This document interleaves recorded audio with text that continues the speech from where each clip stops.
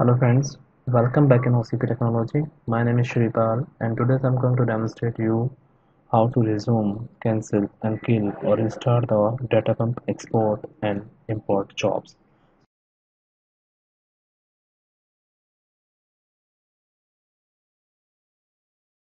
Let's see without wasting our time, let's see the practical. Export give the username here and I'm going to export the full database and specify the job name so that you can easily pause your job exp underscore full underscore database. Just hit enter with the password of your system user. Hit enter. So you can see your command job command is running. So I'm going to open one more tab and log in in the database and run a command here. Select owner underscore name. Job underscore name. Operation. Job underscore mode. State. From db underscore data pump jobs set line 200 just see. Okay. Need to space. Okay. Now you can see here your your owner owner name who is running the job and your job name here.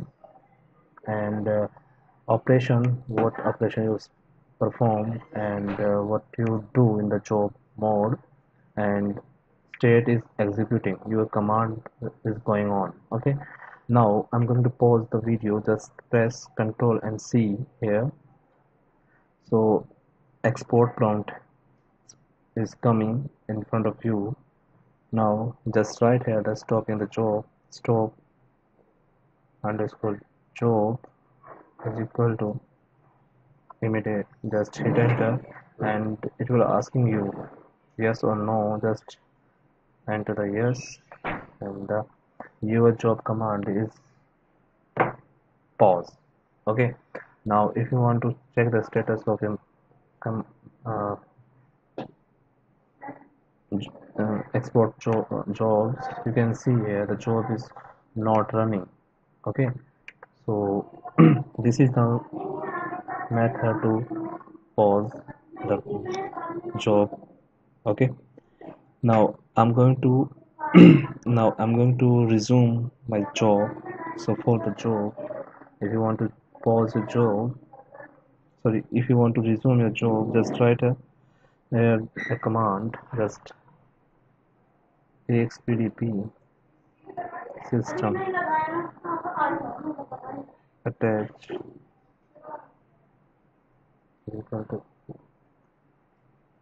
pdp sorry exp underscore full underscore database your job name. Just attach your job here and type a password of your user. Okay. When you're running that command yeah you got some unnecessary information but we have need the information about the, our jobs. So it's here your job is attached. Just start your job. Just write here the continue underscore client. Enter. Okay. So this is the method how to pause and how to resume the job. Okay. And and if you want to kill your job if you want to kill your job you can use kill job keyword. Suppose um, I'm going to stop again the job press the control C. And you want to kill this job just kill underscore job hit enter. It will ask me something just press the yes and your job is killing. If you want to check the status of your job see. No row selected because your job is killed. No okay? So there is nothing okay? So this is the method to pause and resume and cancel and kill the jobs and restart the job okay? If you found that video very informative so subscribe my channel and like my video. Thanks for watching